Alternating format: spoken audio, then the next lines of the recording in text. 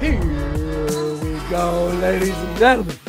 New Balance Super Comp Trail testing is done in the studio. Oh my my, pardon my voice.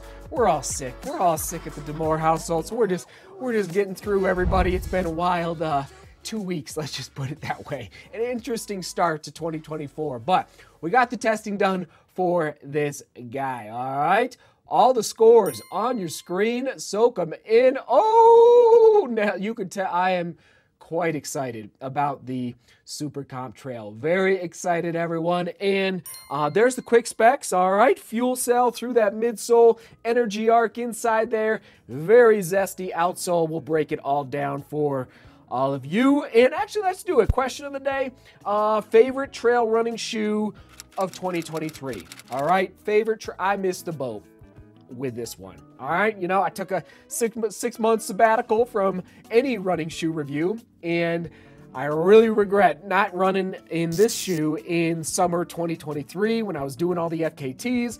I think my longest FKT was 16 miles, and I absolutely would have probably opted for this guy to go after that 16 just because it's a little longer and it's that type of pep understep and weight to the shoe. Very exciting New Balance. Uh, I'm to the moon. Very, ah, uh, all right, let's go into it. Here we go. Upper, pretty basic. Actually, let's do the fit right now.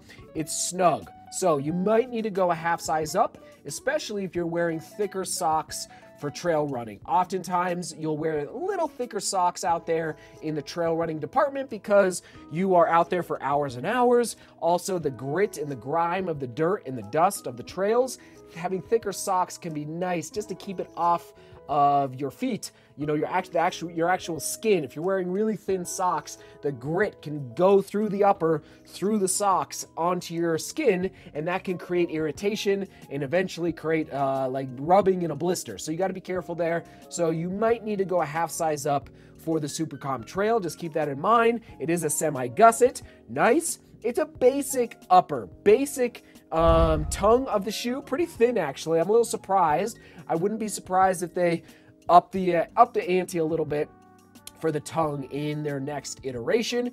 Simple. It's a great heel. Eh, sorry, it's a good heel counter, and I think again they will improve upon the comfort level of the heel counter in future iterations. Um, and a pretty weak. It's not a stout toe cap, so if you do kick a rock or a root out there, just beware you might feel it on your toes just a little bit. Again, not the end of the world. Um, and I'll say out of the upper, midsole, and outsole, the upper is the least exciting part of the shoe.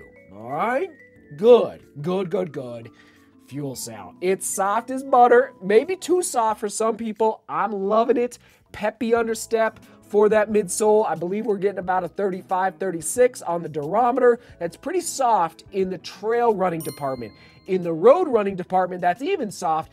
Um, but you're you're looking at like upper 20s because you don't want a midsole that's too soft on the trails because rocks can really poke through. Thankfully, though, they've got that energy arc in there to help block some of the blunt force of those rocks and roots in case, you know, depending on the trails you're running. If it's buffed out, you don't really need to worry about that. But uh, the thumb test is quite nice.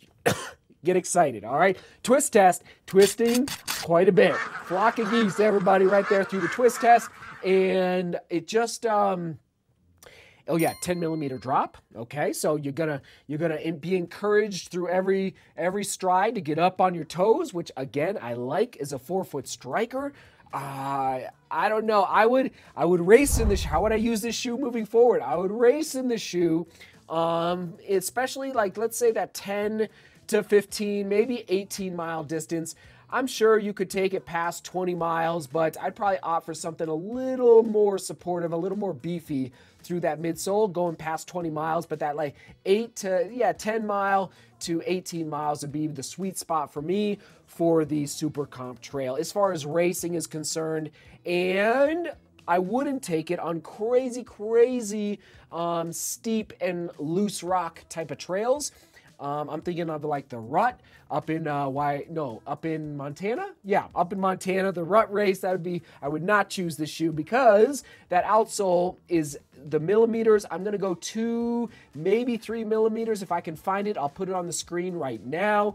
All right. So, but what is often overlooked in the trail running department is the angles, placement, and strategy being put forth for how you're configuring the lugs. Yeah, the depth of the lugs is important, but what about the configuration of the lugs? I, oftentimes, I see trail shoes that I'm like, that lug pattern doesn't make sense for getting the best grip and like uphill, but often people forget about, about the downhill as well.